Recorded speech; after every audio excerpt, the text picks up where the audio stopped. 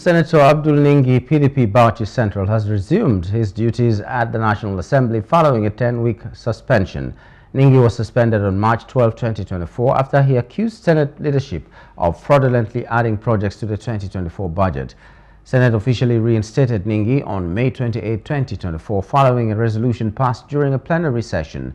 The motion for his recall was sponsored by Senate Minority Leader Abba Moro and co-sponsored by Deputy Minority Leader Olalere Oyewunmi and Minority Whip Osita Ngwu. Upon his return, uh, Senator Ningi took the floor to commend the National Assembly leadership. Just last Tuesday, the 1st of June, I was in far away Istanbul in Turkey when I a news alert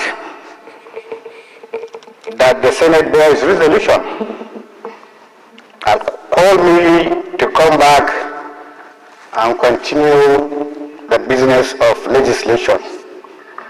It is therefore my resolve to, with a profound humility, to Allah, the sustainer and the cherisher, thanking him for giving us this day and for finding it fit enough, for finding time to be with you once again. And I would like to, to commend the Senate for this gesture. And I would like especially to commend the Senate President for the kind words you have expressed that day about me. Commend the leadership of the minority. I also commend the adult committee of the Senate.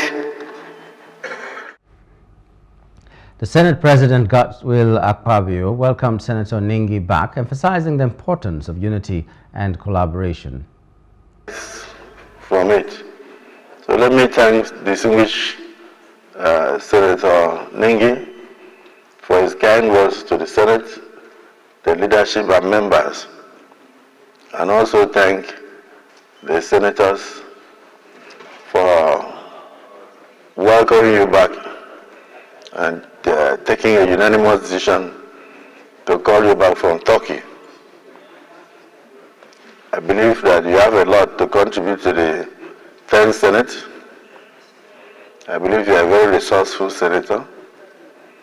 And like you said, by, let bygone be bygone. So you are welcome. We welcome you back with gratitude. As a result of his suspension, Senator Ningi lost his chairmanship position of the Senate Committee on National Identity and Population, which was allocated to Senator Mustafa Moss two days after the Senate lifted suspension. Hello. Hope you enjoyed the news. Please do subscribe to our YouTube channel and don't forget to hit the notification button so you get notified about fresh news updates.